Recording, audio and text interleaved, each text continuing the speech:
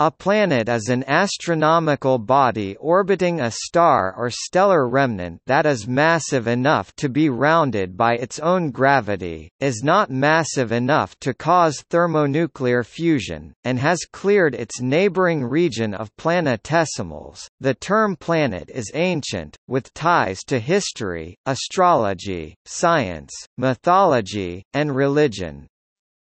Five planets in the Solar System are visible to the naked eye. These were regarded by many early cultures as divine, or as emissaries of deities. As scientific knowledge advanced, human perception of the planets changed, incorporating a number of disparate objects. In 2006, the International Astronomical Union (IAU) officially adopted a resolution defining planets within the solar system. This definition is controversial because it excludes many objects of planetary mass based on where or what they orbit. Although eight of the planetary bodies discovered before 1950 remain planets. Under the modern definition, some celestial bodies, such as Ceres, Pallas, Juno and Vesta each an object in the solar asteroid belt, and Pluto the first trans-Neptunian object discovered, that were once considered planets by the scientific community, are no longer viewed as such. The planets were thought by Ptolemy to orbit Earth in deferent and epicycle motions. Although the idea that the planets orbited the Sun had been suggested many times, it was not until the 17th century that this view was supported by evidence from the first telescopic astronomical observations, performed by Galileo Galilei. About the same time, by careful analysis of pre-telescopic observational data collected by Tycho Brahe, Johannes Kepler found the planets' orbits were elliptical rather than circular. As observational tools improved, astronomers saw that, like Earth, each of the planets rotated around an axis tilted with respect to its orbital pole, and some shared such features as ice caps and seasons. Since the dawn of the space age, close observation by space probes has found that Earth and the other planets share characteristics such as volcanism, hurricanes, tectonics, and even hydrology. Planets are generally divided into two main types, large low-density giant planets, and smaller rocky terrestrials. There are eight planets in the Solar System. In order of increasing distance from the Sun, they are the four terrestrials, Mercury, Venus, Earth, and Mars, then the four giant planets, Jupiter, Saturn, Uranus, and Neptune. Six of the planets are orbited by one or more natural satellites several thousands of planets around other stars, extrasolar planets, or exoplanets, have been discovered in the Milky Way. As of 1 May 2019, 4,058 known extrasolar planets in 3,033 planetary systems including 658 multiple planetary systems, ranging in size from just above the size of the Moon to gas giants about twice as large as Jupiter have been discovered, out of which more than 100 planets are the same size as Earth, nine of which are at the same relative distance distance from their star as Earth from the Sun, i.e. in the circumstellar habitable zone. On December 20, 2011, the Kepler Space Telescope team reported the discovery of the first Earth-sized extrasolar planets, Kepler-20e and Kepler-20f, orbiting a Sun-like star, Kepler-20. A 2012 study, analyzing gravitational microlensing data, estimates an average of at least 1.6 bound planets for every star in the Milky Way. Around 1 in 5 Sun-like stars is thought to have an Earth-sized planet in its habitable zone.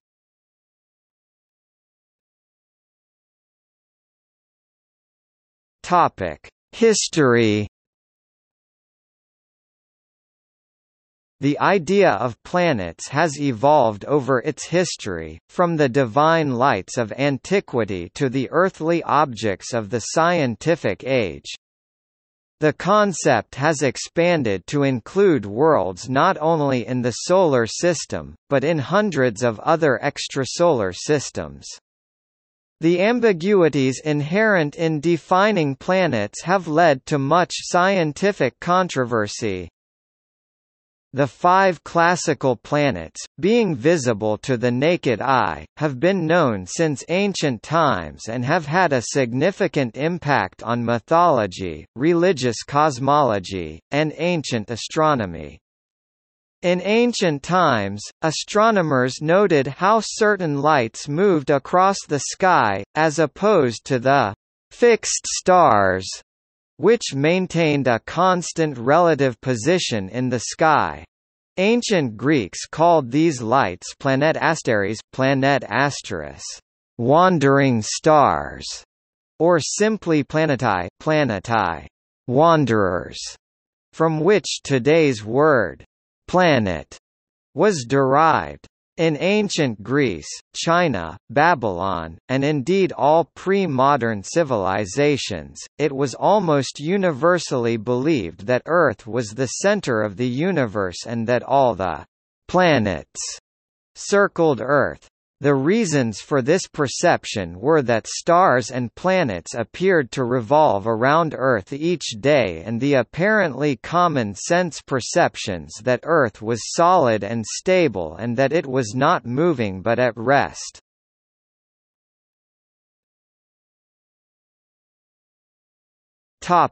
Babylon The first civilization known to have a functional theory of the planets were the Babylonians, who lived in Mesopotamia in the 1st and 2nd millennia BC.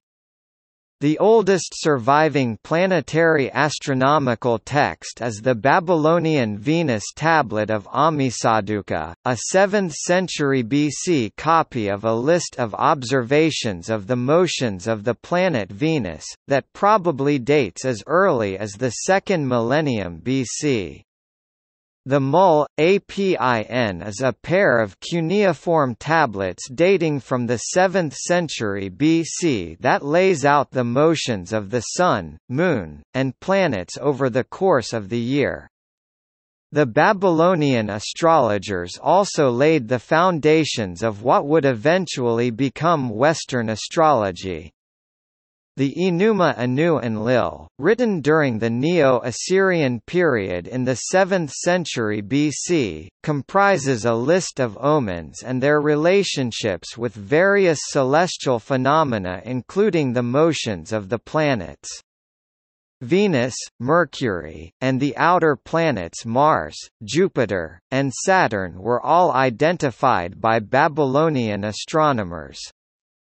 These would remain the only known planets until the invention of the telescope in early modern times.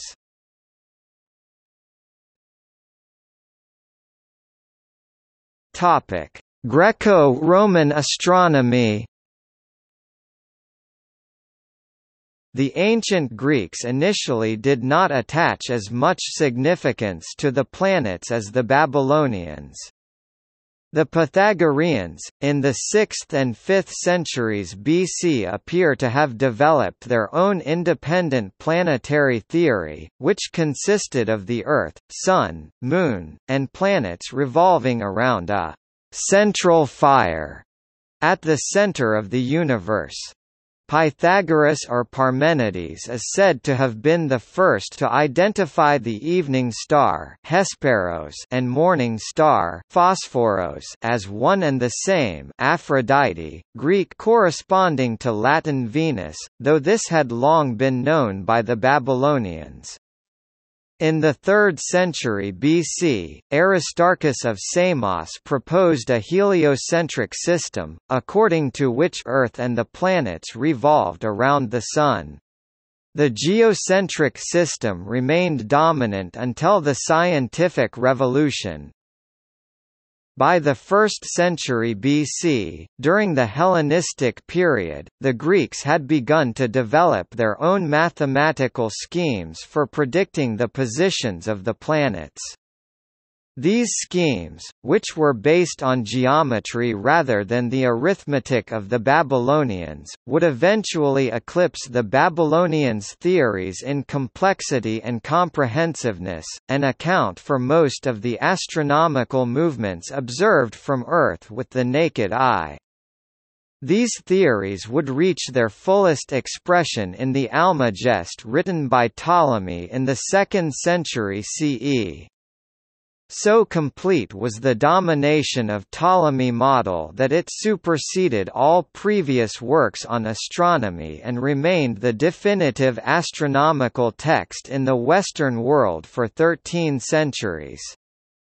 To the Greeks and Romans there were seven known planets, each presumed to be circling Earth according to the complex laws laid out by Ptolemy. They were, in increasing order from Earth in Ptolemy order and using modern names, the Moon, Mercury, Venus, the Sun, Mars, Jupiter, and Saturn. Cicero, in his De Natura Deorum, enumerated the planets known during the 1st century BCE using the names for them in use at the time, but there is most matter for wonder in the movements of the five stars which are falsely called wandering, falsely, because nothing wanders which through all eternity preserves its forward and retrograde courses, and its other movements, constant and unaltered. For instance, the star which is farthest from the Earth, which is known as the star of Saturn, and is called by the Greeks Phaethon Phaenon, accomplishes its course in about 30 years, and though in that course it does much that is wonderful, first preceding the Sun, and then falling off in speed, becoming invisible at the hour of evening, and returning to view in the morning, it never through the unending ages of time makes any variation, but performs the same movements at the same times. Beneath it, and nearer to the Earth, moves the planet of Jupiter, which is called in Greek Phaethon. .It completes the same round of the twelve signs in twelve years, and performs in its course the same variations as the planet of Saturn. The circle next below it is held by Pyroes, Pyrois which is called the planet of Mars, and traverses the same round as the two planets above it in four and twenty months, all but, I think, six days. Beneath this is the planet of Mercury, which is called by the Greek Stilben, Stilben. It traverses the round of the zodiac in about the time of the year's revolution, and never withdraws more than one sign's distance from the Sun, moving at one time in advance of it, and at another in its rear. The lowest of the five wandering stars, and the one nearest the Earth, is the planet of Venus, which is called Phosphoros, Phosphoros in Greek, and Lucifer in Latin, when it is preceding the Sun, but Hesperos, Hesperos when it is following it. It completes its course in a year, traversing the zodiac both latitudinally and longitudinally, as is also done by the planets above it, and on whichever side side of the Sun it is, it never departs more than two signs distance from it.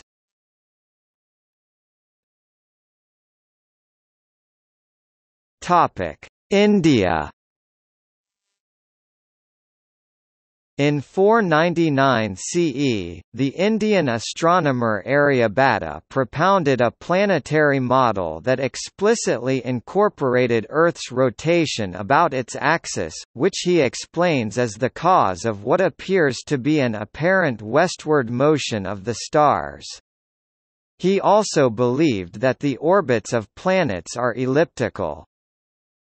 Aryabhata's followers were particularly strong in South India, where his principles of the diurnal rotation of Earth, among others, were followed and a number of secondary works were based on them. In 1500, Nilakantha Somayaji of the Kerala School of Astronomy and Mathematics, in his Tantrasangraha, revised Aryabhata's model. In his Aryabhatiyabhasya, a commentary on Aryabhata's Aryabhatiya, he developed a planetary model where Mercury, Venus, Mars, Jupiter and Saturn orbit the Sun, which in turn orbits Earth, similar to the Tychonic system later proposed by Tycho Brahe in the late 16th century. Most astronomers of the Kerala school who followed him accepted his planetary model.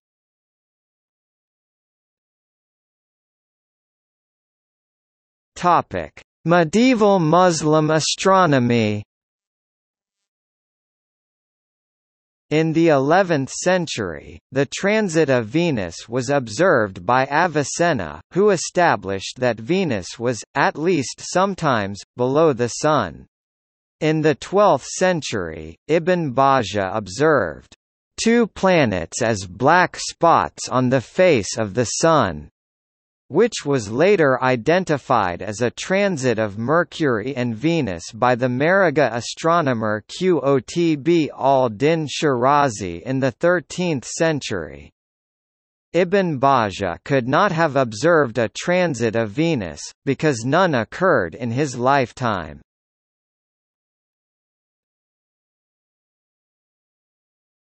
Topic: European Renaissance.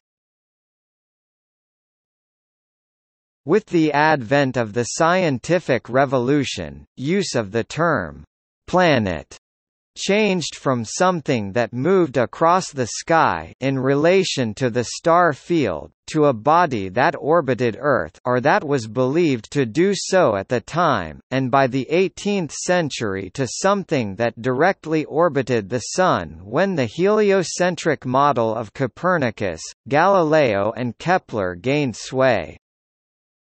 Thus, Earth became included in the list of planets, whereas the Sun and Moon were excluded. At first, when the first satellites of Jupiter and Saturn were discovered in the 17th century, the terms «planet» and «satellite» were used interchangeably, although the latter would gradually become more prevalent in the following century. Until the mid-19th century, the number of «planets» rose rapidly because any newly discovered object directly orbiting the Sun was listed as a planet by the scientific community.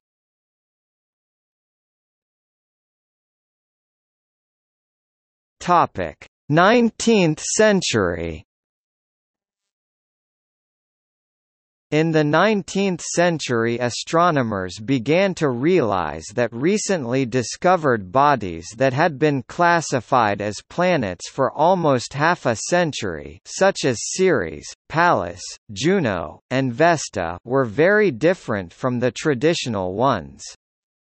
These bodies shared the same region of space between Mars and Jupiter the asteroid belt, and had a much smaller mass, as a result they were reclassified as «asteroids».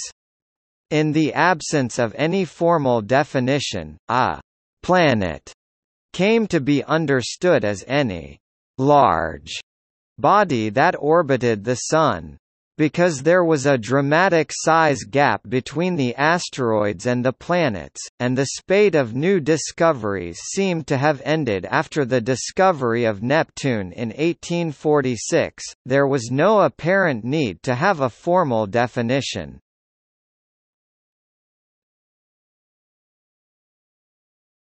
Topic: 20th century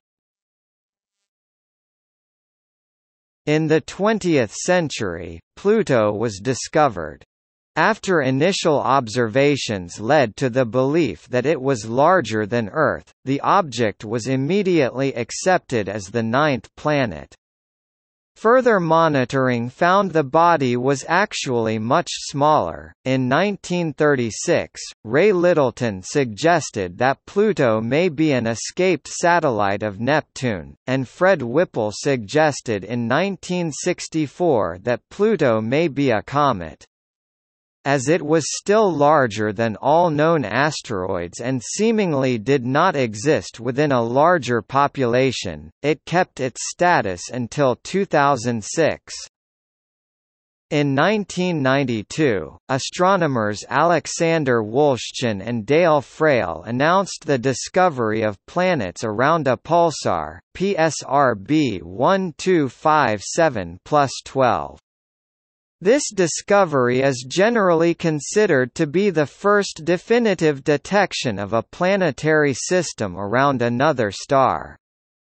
Then, on October 6, 1995, Michel Mayor and Didier Queloz of the Geneva Observatory announced the first definitive detection of an exoplanet orbiting an ordinary main sequence star 51 Pegasi. .The discovery of extrasolar planets led to another ambiguity in defining a planet, the point at which a planet becomes a star. Many known extrasolar planets are many times the mass of Jupiter, approaching that of stellar objects known as brown dwarfs.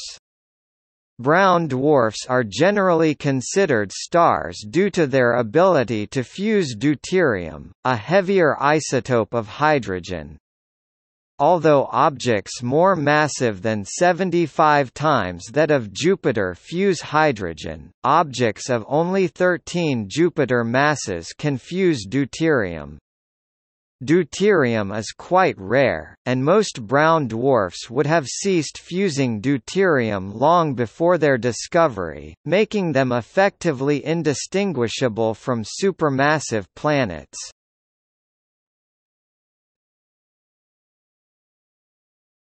Topic: 21st century.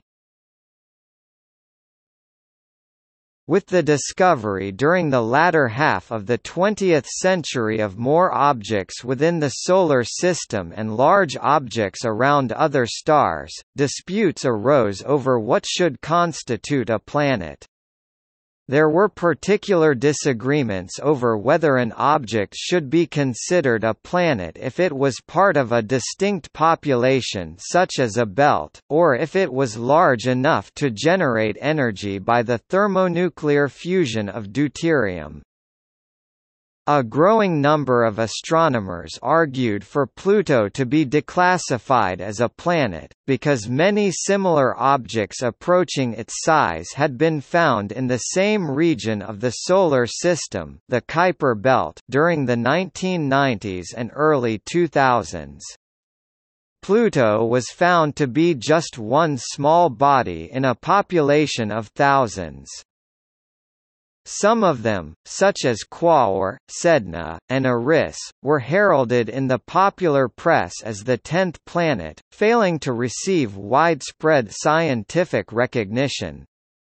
The announcement of Eris in 2005, an object then thought of as 27% more massive than Pluto, created the necessity and public desire for an official definition of a planet. Acknowledging the problem, the IAU set about creating the definition of planet, and produced one in August 2006. The number of planets dropped to the eight significantly larger bodies that had cleared their orbit Mercury, Venus, Earth, Mars, Jupiter, Saturn, Uranus, and Neptune, and a new class of dwarf planets was created, initially containing three objects Ceres, Pluto and Eris.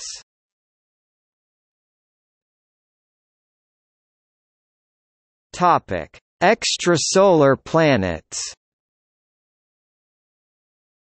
There is no official definition of extrasolar planets. In 2003, the International Astronomical Union (IAU) Working Group on Extrasolar Planets issued a position statement, but this position statement was never proposed as an official IAU resolution and was never voted on by IAU members. The position statement incorporates the following guidelines, mostly focused upon the boundary between planets and brown dwarfs. Objects with true masses below the limiting mass for thermonuclear fusion of deuterium currently calculated to be 13 times the mass of Jupiter for objects with the same isotopic abundance as the Sun that orbit stars or stellar remnants are «planets», no matter how they formed. The minimum mass and size required for an extrasolar object to be considered a planet should be the same as that used in the Solar System. Substellar objects with true masses above the limiting mass for thermonuclear fusion of deuterium are «brown dwarfs», no matter how they formed or where they are located. Free-floating objects in young star clusters with masses below the limiting mass for thermonuclear fusion of deuterium are not «planets», but are «sub-brown dwarfs» or whatever name is most appropriate. This working definition has since been widely used by astronomers when publishing discoveries of exoplanets in academic journals. Although temporary, it remains an effective working definition until a more permanent one is formally adopted. It does not address the dispute over the lower mass limit, and so it steered clear of the controversy regarding objects within the Solar System. This definition also makes no comment on the planetary status of objects orbiting brown dwarfs, such as 2M1207b. One definition of a sub-brown dwarf is a planet mass object that formed through cloud collapse rather than accretion. This formation distinction between a sub-brown dwarf and a planet is not universally agreed upon. Astronomers are divided into two camps as whether to consider the formation process of a planet as part of its division in classification. One reason for the dissent is that often it may not be possible to determine the formation process. For example, a planet formed by accretion around a star may get ejected from the system to become free-floating, and likewise a sub-brown dwarf that formed on its own in a star cluster through cloud collapse may get captured into orbit around a star. The 13 Jupiter mass cutoff represents an average mass rather than a precise threshold value. Large objects will fuse most of their deuterium and smaller ones will fuse only a little, and the 13 MJ value is somewhere in between. In fact, calculations show that an object fuses 50% of its initial deuterium content when the total mass ranges between 12 and 14 MJ. The amount of deuterium fused depends not only on mass but also on the composition of the object, on the amount of helium and deuterium present. The Extrasolar Planets Encyclopedia includes objects up to 25 Jupiter masses, saying, the fact that there is no special feature around 13 MJ in the observed mass spectrum reinforces the choice to forget this mass limit. The Exoplanet Data Explorer includes objects up to 24 Jupiter masses with the advisory, The 13 Jupiter mass distinction by the IAU Working Group is physically unmotivated for planets with rocky cores, and observationally problematic due to the SIN-I ambiguity. The NASA Exoplanet Archive includes objects with a mass or minimum mass equal to or less than 30 Jupiter masses. Another criterion for separating planets and brown dwarfs, rather than deuterium fusion, formation process or location, is whether the core pressure is dominated by Coulomb pressure or electron degeneracy pressure.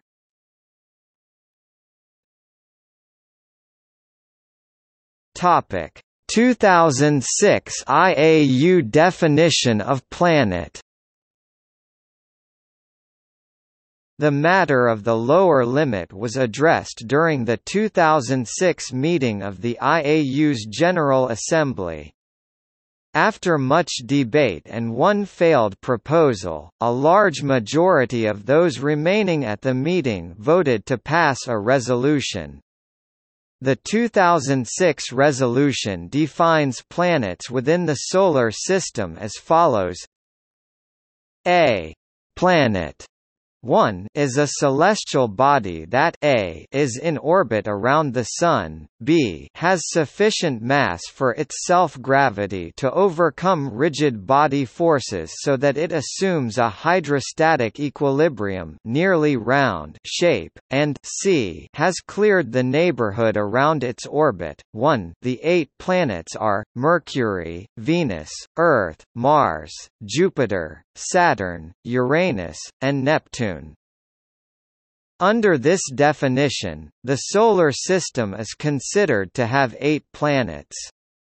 Bodies that fulfill the first two conditions but not the third such as Ceres, Pluto, and Eris are classified as dwarf planets, provided they are not also natural satellites of other planets.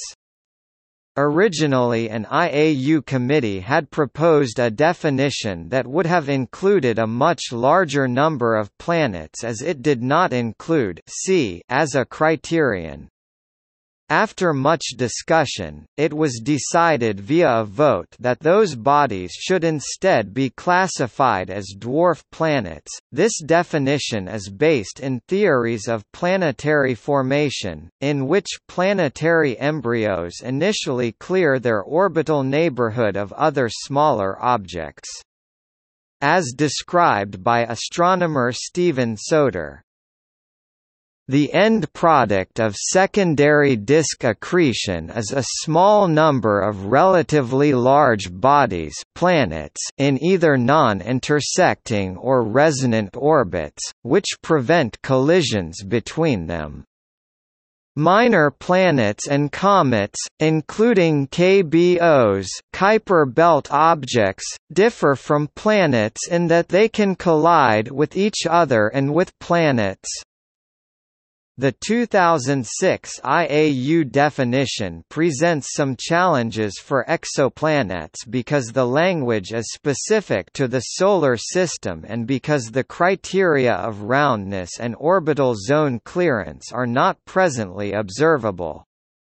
Astronomer Jean-Luc Margot proposed a mathematical criterion that determines whether an object can clear its orbit during the lifetime of its host star, based on the mass of the planet, its semi-major axis, and the mass of its host star.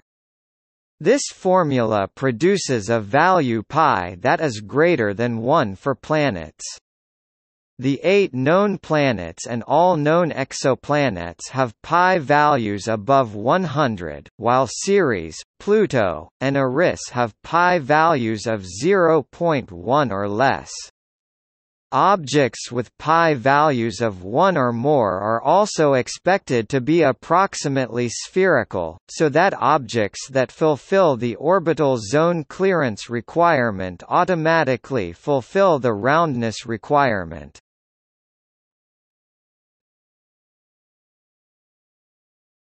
Topic: Objects formerly considered planets. The table below lists solar system bodies once considered to be planets.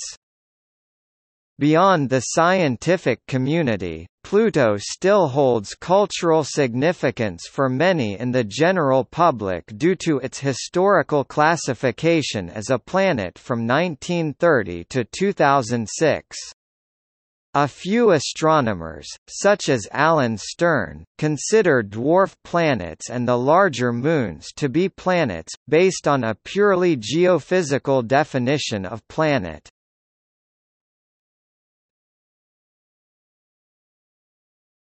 Topic: Mythology and naming. The names for the planets in the Western world are derived from the naming practices of the Romans, which ultimately derive from those of the Greeks and the Babylonians. In ancient Greece, the two great luminaries the Sun and the Moon were called Helios and Selene, the farthest planet Saturn was called Phaenon, the shiner, followed by Phaethon Jupiter, bright. The red planet Mars was known as Pyroes, the fiery the brightest Venus was known as Phosphoros, the light bringer, and the fleeting final planet Mercury was called Stilben, the gleamer. The Greeks also made each planet sacred to one among their pantheon of gods. The Olympians, Helios and Selene were the names of both planets and gods. Phaenon was sacred to Cronus, the Titan who fathered the Olympians. Phaethon was sacred to Zeus, Cronus's son who deposed him as king. Pyrois was given to Ares, son of Zeus and god of war, Phosphoros was ruled by Aphrodite, the goddess of love, and Hermes, messenger of the gods and god of learning and wit, ruled over Stilben. The Greek practice of grafting their gods' names onto the planets was almost certainly borrowed from the Babylonians. The Babylonians named Phosphoros after their goddess of love, Ishtar, Pyroes after their god of war, Nergal, Stilben after their god of wisdom Nabu, and Phaethon after their chief god, Marduk. There are too many concordances between Greek and Babylonian naming conventions for them to have arisen separately. The translation was not perfect. For instance, the Babylonian Nergal was a god of war, and thus the Greeks identified him with Ares. Unlike Ares, Nergal was also god of pestilence and the underworld. Today, most people in the Western world know the planets by names derived from the Olympian pantheon of gods. Although modern Greeks still use their ancient names for the planets, other European languages, because of the influence of the Roman Empire and, later, the Catholic Church, use the Roman Latin names rather than the Greek ones. The Romans, who, like the Greeks, were Indo-Europeans, shared with them a common pantheon under different names but lacked the rich narrative traditions that Greek poetic culture had given their gods. During the later period of the Roman Republic, Roman writers borrowed much of the Greek narratives and applied them to their own pantheon, to the point where they became virtually indistinguishable. When the Romans studied Greek astronomy, they gave the planets their own gods' names: Mercurius for Hermes, Venus, Aphrodite, Mars, Ares, Iupiter, Zeus, and Saturnus, Cronus. When subsequent planets were discovered in the 18th and 19th centuries, the naming practice was retained with Neptunus, Poseidon, Uranus is unique in that it is named for a Greek deity rather than his Roman counterpart. Some Romans, following a belief possibly originating in Mesopotamia but developed in Hellenistic Egypt, believed that the seven gods after whom the planets were named took hourly shifts in looking after affairs on Earth. The order of shifts went Saturn, Jupiter, Mars, Sun, Venus, Mercury, Moon from the farthest to the closest planet.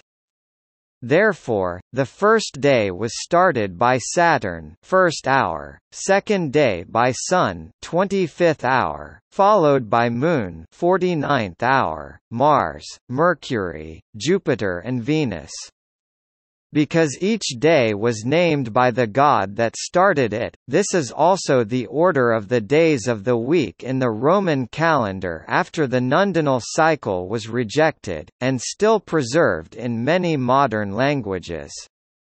In English, Saturday, Sunday, and Monday are straightforward translations of these Roman names.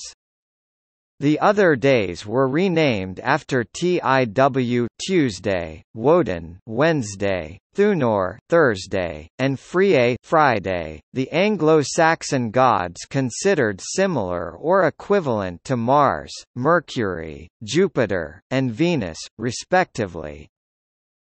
Earth is the only planet whose name in English is not derived from Greco-Roman mythology because it was only generally accepted as a planet in the 17th century, there is no tradition of naming it after a god. The same is true, in English at least, of the Sun and the Moon, though they are no longer generally considered planets. The name originates from the 8th century Anglo-Saxon word erda, which means ground or soil and was first used in writing as the name of the sphere of Earth perhaps around 1300. As with its equivalents in the other Germanic languages, it derives ultimately from the Proto-Germanic word or though ground, as can be seen in the English earth, the German Erde, the Dutch Aarde, and the Scandinavian Jord. Many of the Romance languages retain the old Roman word terra or some variation of it that was used with the meaning of dry land, as opposed to sea.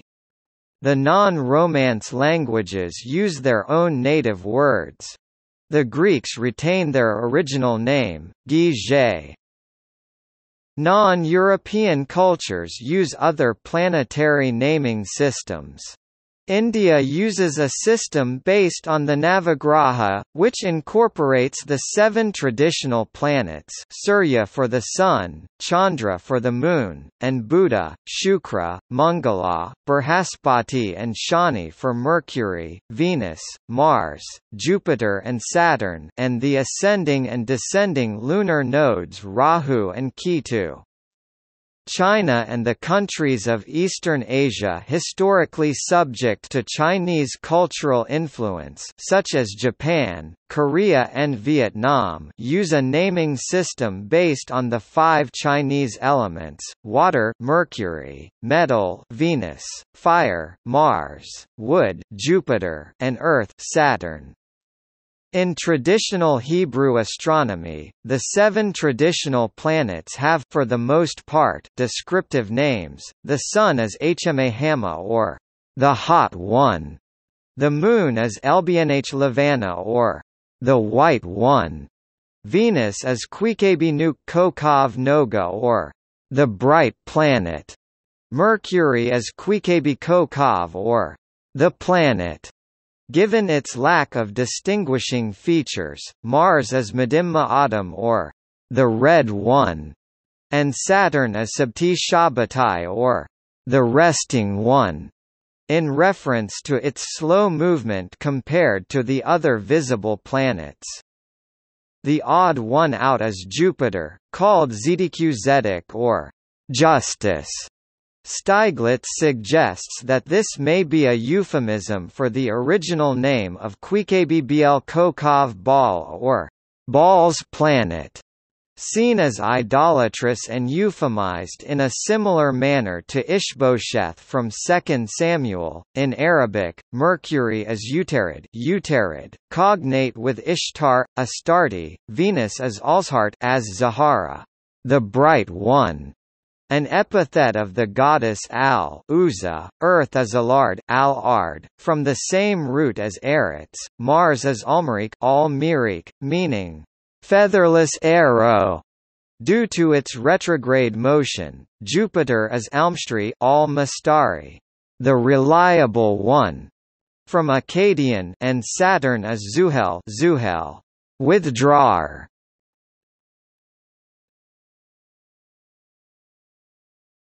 Topic: Formation. It is not known with certainty how planets are formed. The prevailing theory is that they are formed during the collapse of a nebula into a thin disk of gas and dust. A protostar forms at the core, surrounded by a rotating protoplanetary disk. Through accretion a process of sticky collision dust particles in the disk steadily accumulate mass to form ever larger bodies. Local concentrations of mass known as planetesimals form, and these accelerate the accretion process by drawing in additional material by their gravitational attraction. These concentrations become ever denser until they collapse inward under gravity to form protoplanets.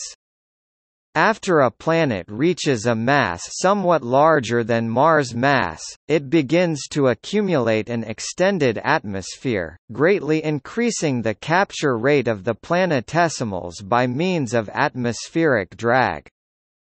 Depending on the accretion history of solids and gas, a giant planet, an ice giant, or a terrestrial planet may result. When the protostar has grown such that it ignites to form a star, the surviving disk is removed from the inside outward by photoevaporation, the solar wind, pointing Robertson drag and other effects. Thereafter there still may be many protoplanets orbiting the star or each other, but over time many will collide, either to form a single larger planet or release material for other larger protoplanets or planets to absorb. Those objects that have become massive enough will capture most matter in their orbital neighborhoods to become planets. Protoplanets that have avoided collisions may become natural satellites of planets through a process of gravitational capture, or remain in belts of other objects to become either dwarf planets or small bodies. The energetic impacts of the smaller planetesimals as well as radioactive decay will heat up the growing planet, causing it to at least partially melt. The interior of the planet begins to differentiate by mass, developing a denser core. Smaller terrestrial planets lose most of their atmospheres because of this accretion, but the lost gases can be replaced by outgassing from the mantle and from the subsequent impact of comets. Smaller planets will lose any atmosphere they gain through various escape mechanisms, with the discovery and observation of planetary systems around stars other than the Sun, it is becoming possible to elaborate, revise or even replace this account. The level of metallicity, an astronomical term describing the abundance of chemical elements with an atomic number greater than 2 helium, is now thought to determine the likelihood that a star will have planets. Hence, it is thought that a metal-rich population I star will likely have a more substantial planetary system than a metal-poor, population II star.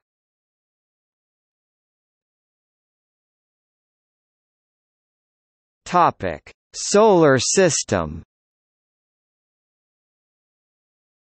There are eight planets in the Solar System, which are in increasing distance from the Sun.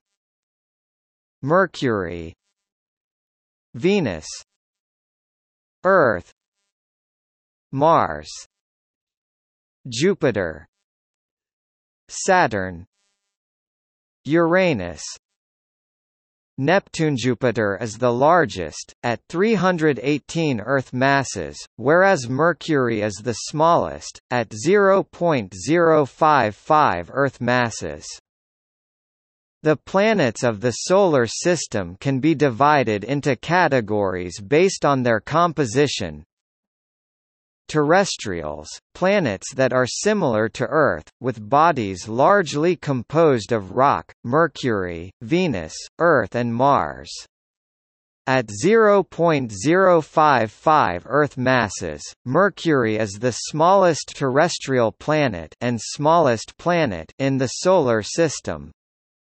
Earth is the largest terrestrial planet. Giant planets Jovians, massive planets significantly more massive than the terrestrials, Jupiter, Saturn, Uranus, Neptune. Gas giants, Jupiter and Saturn, are giant planets primarily composed of hydrogen and helium and are the most massive planets in the Solar System. Jupiter, at 318 Earth masses, is the largest planet in the Solar System, and Saturn is one-third as massive, at 95 Earth masses.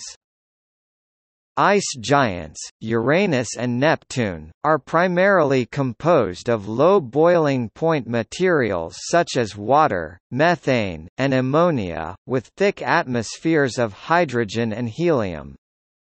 They have a significantly lower mass than the gas giants only 14 and 17 Earth masses.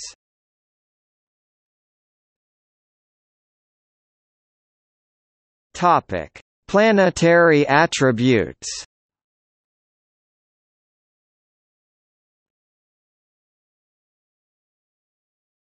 Topic: Exoplanets. An exoplanet extrasolar planet is a planet outside the Solar System.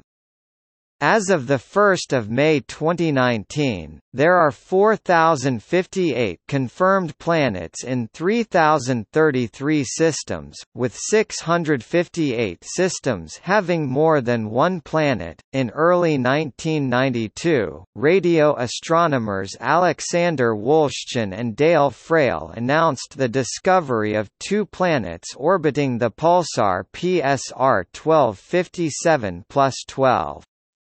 This discovery was confirmed, and is generally considered to be the first definitive detection of exoplanets. These pulsar planets are believed to have formed from the unusual remnants of the supernova that produced the pulsar, in a second round of planet formation, or else to be the remaining rocky cores of giant planets that survived the supernova and then decayed into their current orbits. The first confirmed discovery of an extrasolar planet orbiting an ordinary main sequence star occurred on 6 October 1995, when Michel Mayor and Didier Queloz of the University of Geneva announced the detection of an exoplanet around 51 Pegasi. From then until the Kepler mission most known extrasolar planets were gas giants comparable in mass to Jupiter or larger as they were more easily detected. The catalogue of Kepler candidate planets consists mostly of planets the size of Neptune and smaller, down to smaller than Mercury. There are types of planets that do not exist in the Solar System, super-Earths and mini-Neptunes, which could be rocky like Earth or a mixture of volatiles and gas like Neptune. A radius of 1.75 times that of Earth is a possible dividing line between the two types of planet. There are hot Jupiters that orbit very close to their star and may evaporate to become Chthonian planets, which are the leftover cores. Another possible type of planet is carbon planets, which form in systems with a higher proportion of carbon than in the Solar System. A 2012 study, analyzing gravitational microlensing data, estimates an average of at least 1.6 bound planets for every star in the Milky Way. On December 20, 2011, the Kepler Space Telescope team reported the discovery of the first Earth-size exoplanets, Kepler-20e and Kepler-20f, orbiting a Sun-like star, Kepler-20. Around 1 in 5 Sun-like stars have an Earth-sized planet in the habitable zone, so the nearest would be expected to be within 12 light-years distance from Earth. The frequency of occurrence of such terrestrial planets is one of the variables in the Drake equation, which estimates the number of intelligent, communicating civilizations that exist in the Milky Way. There are exoplanets that are much closer to their parent star than any planet in the Solar System is to the Sun, and there are also exoplanets that are much farther from their star. Mercury, the closest planet to the Sun at 0.4 astronomical units, takes 88 days for an orbit, but the shortest known orbits for exoplanets take only a few hours, e.g. Kepler 70b. The Kepler-11 system has five of its planets in shorter orbits than Mercury's, all of them much more massive than Mercury. Neptune is 30 astronomical units from the Sun and takes 165 years to orbit, but there are exoplanets that are hundreds of AU from their star and take more than a thousand years to orbit, e.g. 1 RXS 1609b. The next few space telescopes to study exoplanets are expected to be Gaia launched in December 2013, CHEOPS in 2018, TESS in 2018, and the James Webb Space Telescope in 2021.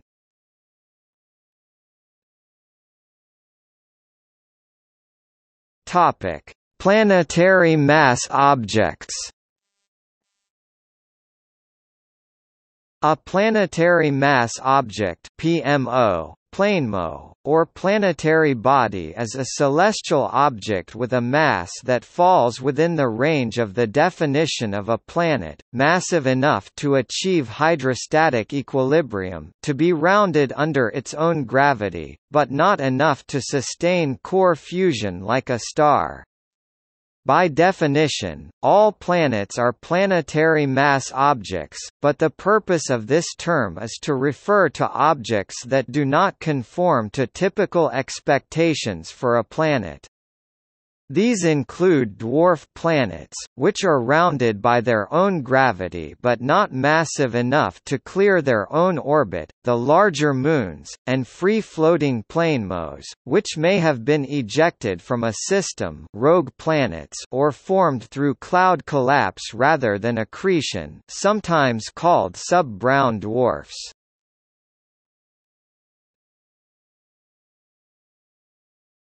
Topic Dwarf planets A dwarf planet is a planetary mass object that is neither a true planet nor a natural satellite, it is in direct orbit of a star, and is massive enough for its gravity to compress it into a hydrostatically equilibrious shape usually a spheroid, but has not cleared the neighborhood of other material around its orbit.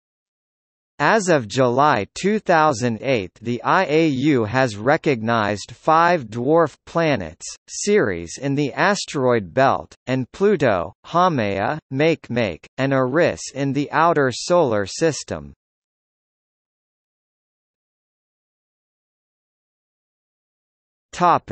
Rogue planets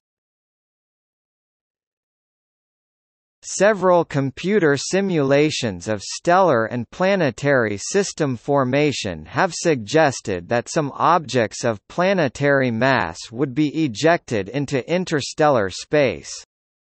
Some scientists have argued that such objects found roaming in deep space should be classed as planets, although others have suggested that they should be called low-mass brown dwarfs.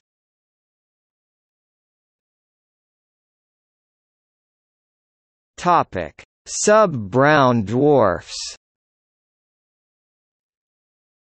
Stars form via the gravitational collapse of gas clouds, but smaller objects can also form via cloud collapse. Planetary mass objects formed this way are sometimes called sub-brown dwarfs. Sub-brown dwarfs may be free-floating such as CHA 110913 773444 and OTS 44, or orbiting a larger object such as 2 MASS J 04414489 plus 2301513. Binary systems of sub-brown dwarfs are theoretically possible. OPH 1622225240515 was initially thought to be a binary system of a brown dwarf of 14 Jupiter masses and a sub-brown dwarf of 7 Jupiter masses, but further observations revised the estimated masses upwards to greater than 13 Jupiter masses, making them brown dwarfs according to the IAU working definitions.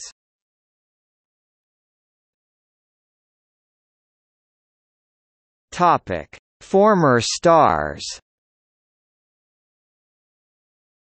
In close binary star systems one of the stars can lose mass to a heavier companion. Accretion-powered pulsars may drive mass loss. The shrinking star can then become a planetary mass object. An example is a Jupiter mass object orbiting the pulsar PSR J17191438. These shrunken white dwarfs may become a helium planet or carbon planet.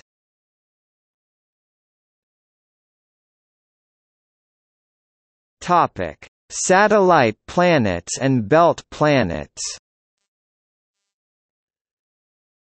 Some large satellites moons are of similar size or larger than the planet Mercury, e.g. Jupiter's Galilean moons and Titan. Alan Stern has argued that location should not matter and that only geophysical attributes should be taken into account in the definition of a planet, and proposes the term satellite planet for a planet-sized satellite. Likewise, dwarf planets in the asteroid belt and Kuiper belt should be considered planets according to Stern.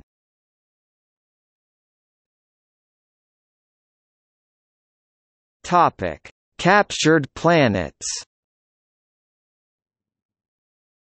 Rogue planets in stellar clusters have similar velocities to the stars and so can be recaptured. They are typically captured into wide orbits between 100 and 105 astronomical units. The capture efficiency decreases with increasing cluster volume, and for a given cluster size it increases with the host, primary mass. It is almost independent of the planetary mass. Single and multiple planets could be captured into arbitrary unaligned orbits, non-coplanar with each other or with the stellar host spin, or pre-existing planetary system.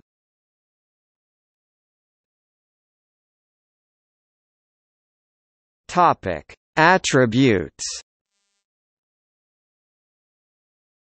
Although each planet has unique physical characteristics, a number of broad commonalities do exist among them. Some of these characteristics, such as rings or natural satellites, have only as yet been observed in planets in the Solar System, whereas others are also commonly observed in extrasolar planets.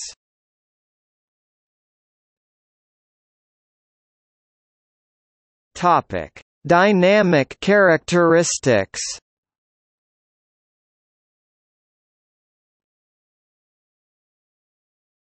Topic: Orbit According to current definitions, all planets must revolve around stars, thus, any potential «rogue planets» are excluded.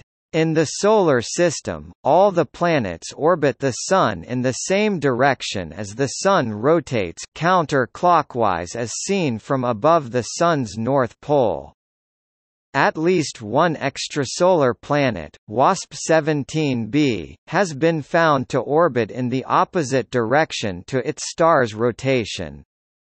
The period of one revolution of a planet's orbit is known as its sidereal period or year.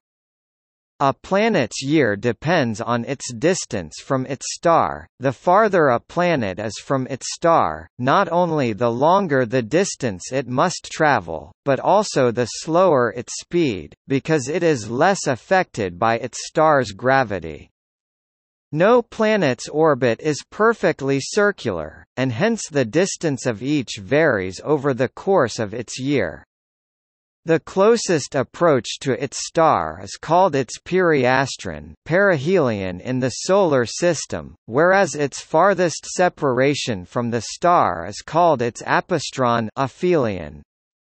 As a planet approaches periastron, its speed increases as it trades gravitational potential energy for kinetic energy, just as a falling object on Earth accelerates as it falls. As the planet reaches apastron, its speed decreases, just as an object thrown upwards on Earth slows down as it reaches the apex of its trajectory. Each planet's orbit is delineated by a set of elements elements. The eccentricity of an orbit describes how elongated a planet's orbit is.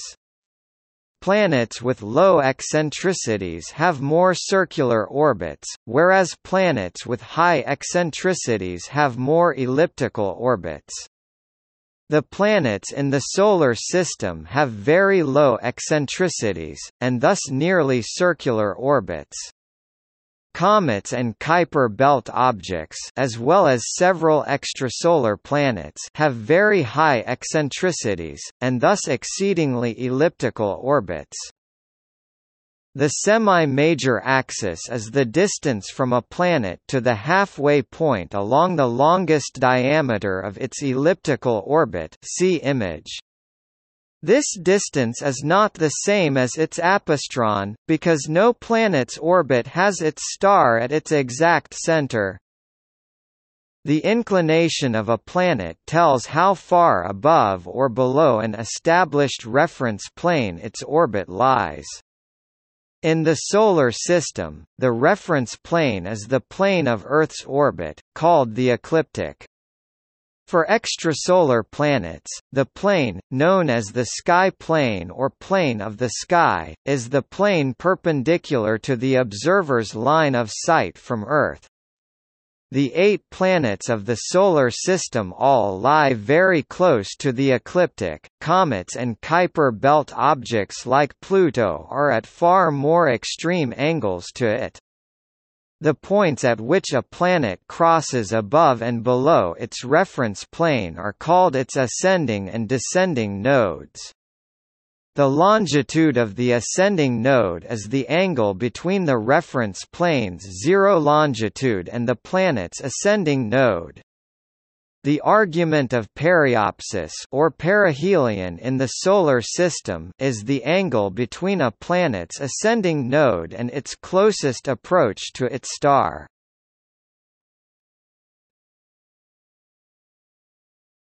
Topic: Axial tilt Planets also have varying degrees of axial tilt, they lie at an angle to the plane of their star's equators. This causes the amount of light received by each hemisphere to vary over the course of its year. When the northern hemisphere points away from its star, the southern hemisphere points towards it, and vice versa. Each planet therefore has seasons, changes to the climate over the course of its year. The time at which each hemisphere points farthest or nearest from its star is known as its solstice. Each planet has two in the course of its orbit, when one hemisphere has its summer solstice, when its day is longest, the other has its winter solstice, when its day is shortest. The varying amount of light and heat received by each hemisphere creates annual changes in weather patterns for each half of the planet. Jupiter's axial tilt is very small, so its seasonal variation is minimal. Uranus, on the other hand, has an axial tilt so extreme it is virtually on its side, which means that its hemispheres are either perpetually in sunlight or perpetually in darkness around the time of its solstices. Among extrasolar planets, axial tilts are not known for certain, though most hot Jupiters are believed to have negligible to no axial tilt as a result of their proximity to their stars.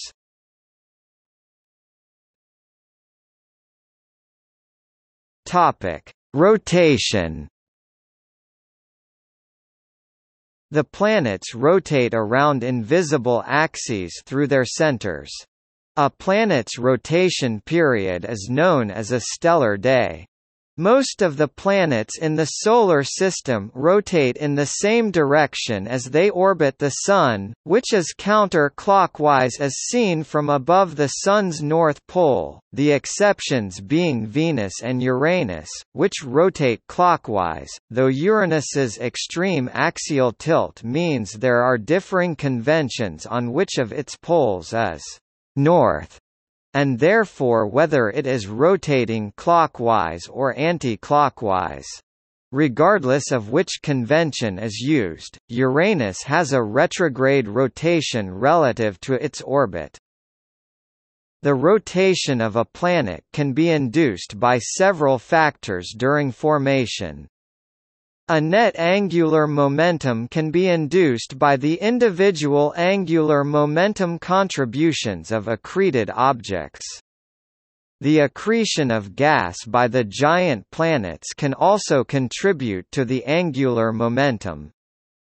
Finally, during the last stages of planet building, a stochastic process of protoplanetary accretion can randomly alter the spin axis of the planet.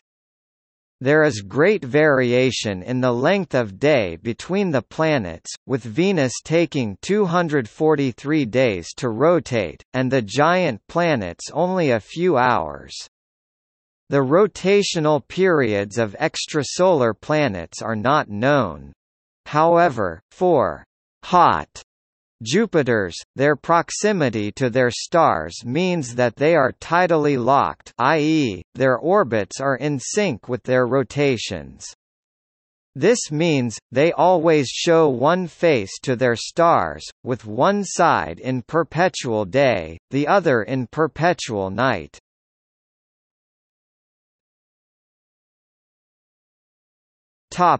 Orbital clearing The defining dynamic characteristic of a planet is that it has cleared its neighborhood. A planet that has cleared its neighborhood has accumulated enough mass to gather up or sweep away all the planetesimals in its orbit. In effect, it orbits its star in isolation, as opposed to sharing its orbit with a multitude of similar-sized objects. This characteristic was mandated as part of the IAU's official definition of a planet in August, 2006. This criterion excludes such planetary bodies as Pluto, Eris and Ceres from full-fledged planethood, making them instead dwarf planets. Although to date this criterion only applies to the Solar System, a number of young extrasolar systems have been found in which evidence suggests orbital clearing is taking place within their circumstellar disks.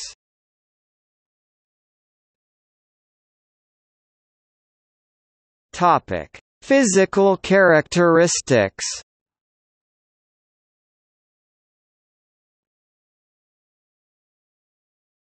Topic: Mass.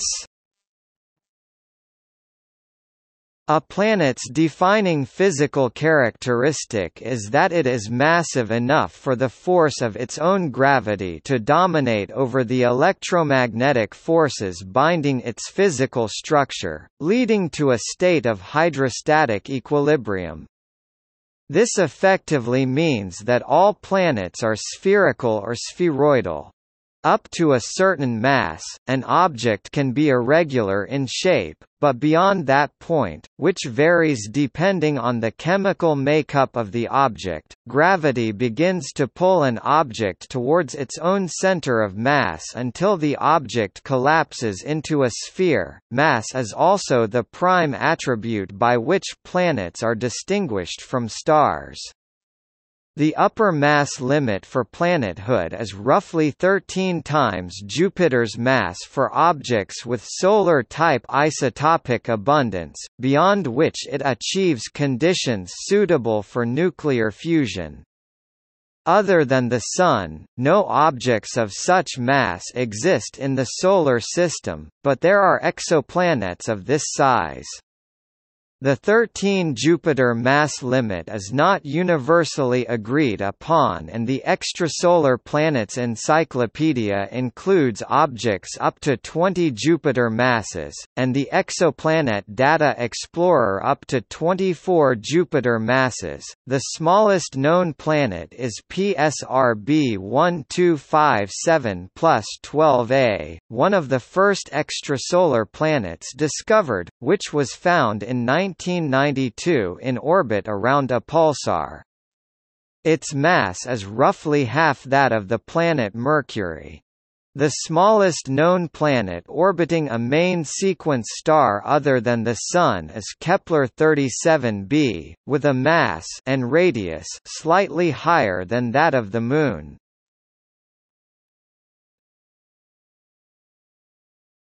Topic: Internal differentiation. Every planet began its existence in an entirely fluid state. In early formation, the denser, heavier materials sank to the center, leaving the lighter materials near the surface. Each therefore has a differentiated interior consisting of a dense planetary core surrounded by a mantle that either is or was a fluid. The terrestrial planets are sealed within hard crusts, but in the giant planets the mantle simply blends into the upper cloud layers. The terrestrial planets have cores of elements such as iron and nickel, and mantles of silicates. Jupiter and Saturn are believed to have cores of rock and metal surrounded by mantles of metallic hydrogen. Uranus and Neptune, which are smaller, have rocky cores surrounded by mantles of water, ammonia, methane and other ices. The fluid action within these planets' cores creates a geodynamo that generates a magnetic field.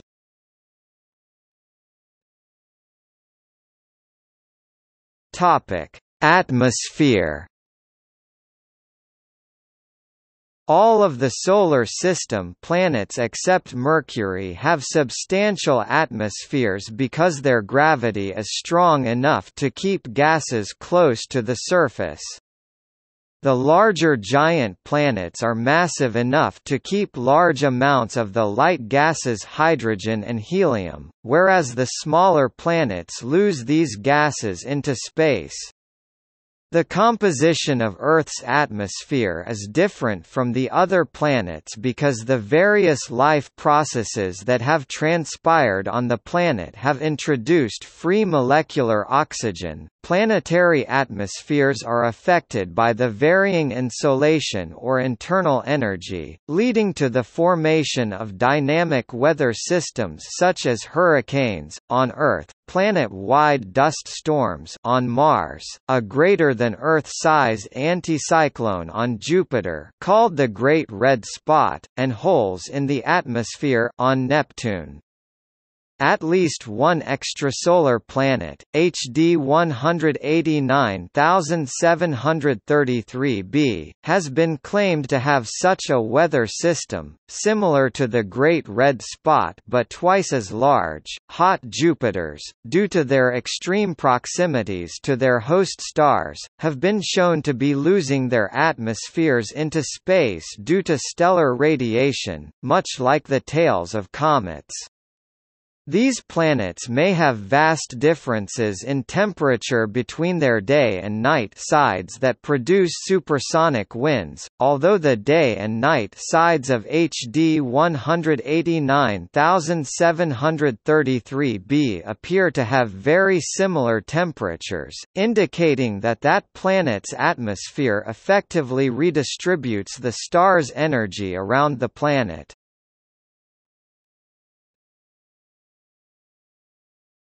Topic: Magnetosphere One important characteristic of the planets is their intrinsic magnetic moments, which in turn give rise to magnetospheres.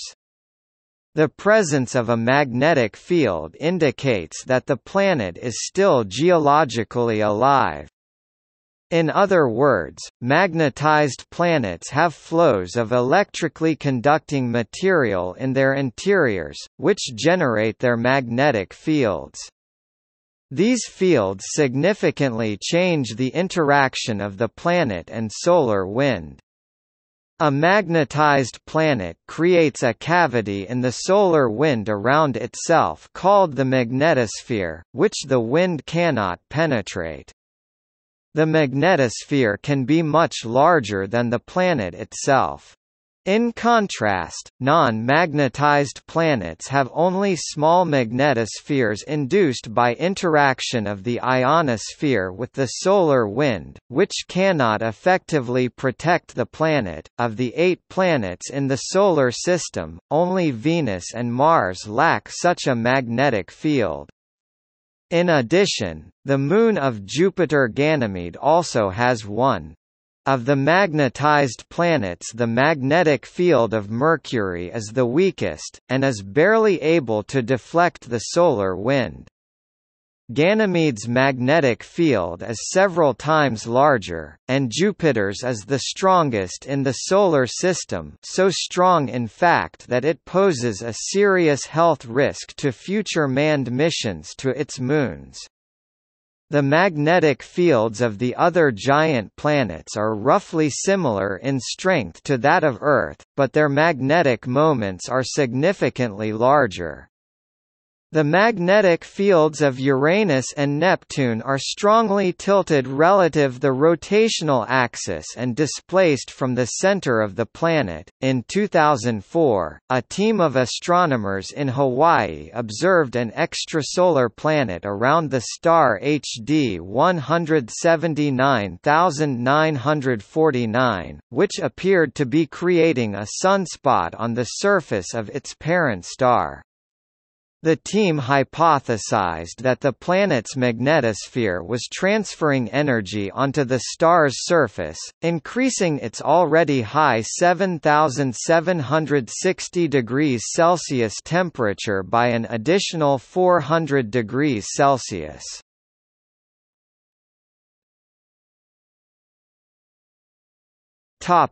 Secondary characteristics Several planets are dwarf planets in the Solar System such as Neptune and Pluto have orbital periods that are in resonance with each other or with smaller bodies this is also common in satellite systems.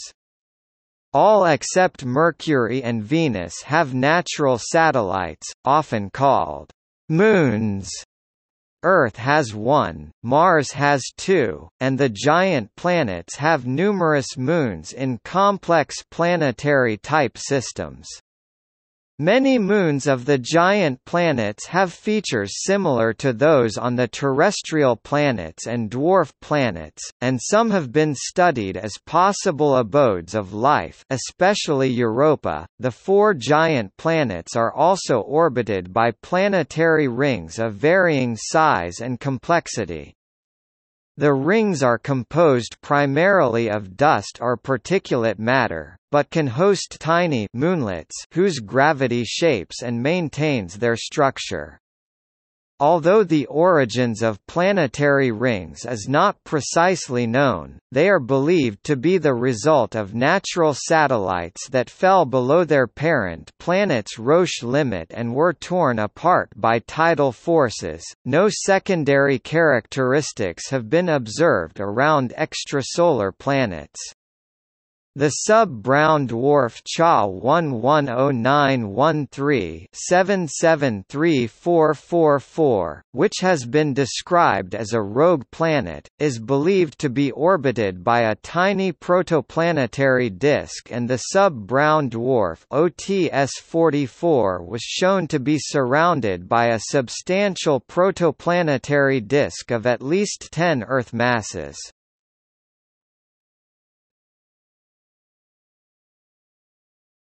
Topic. See also